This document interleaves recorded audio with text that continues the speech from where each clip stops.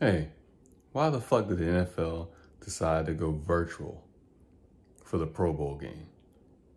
Not only is it disrespect to fans not being able to go to the Pro Bowl game or any fuck or some of these other games, right? But you're gonna make the shit virtual and put on like the fucking worst fucking football game out there. Oh, I'm sorry. The only fucking football game out there that sucks so damn much has like the lowest user rating score ever. Come on. Nobody wants to see that shit, man.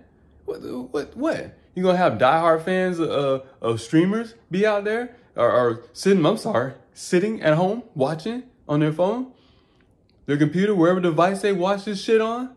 They can't do this. The fuck? Does this sound like a good idea? Fuck no. No. No.